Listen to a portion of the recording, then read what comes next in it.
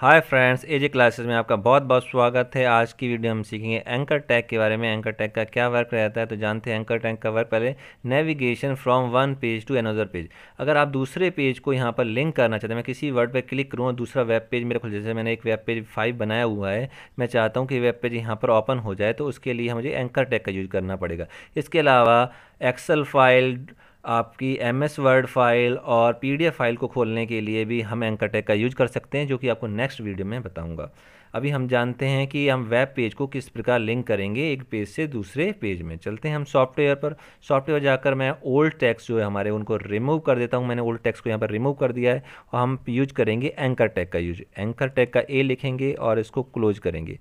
बीच में हम लिखेंगे यहाँ पर गो टू द द नहीं लगाते हम go to web page five okay और ये हमारा वर्ड हो गया जिस पर हम क्लिक करेंगे और दूसरे पेज पर पहुँच जाएँगे।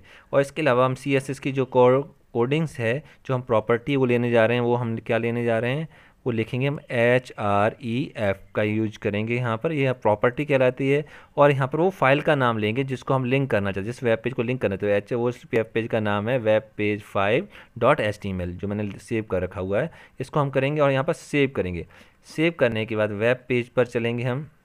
वेब पेज पर जाकर रिफ़्रेश करेंगे तो देखिए go to web page five आपकी आ गई है। यहाँ पर हम जैसे क्लिक करेंगे तो हम वेब पेज फाइव पेज पर पहुँच जाएँगे।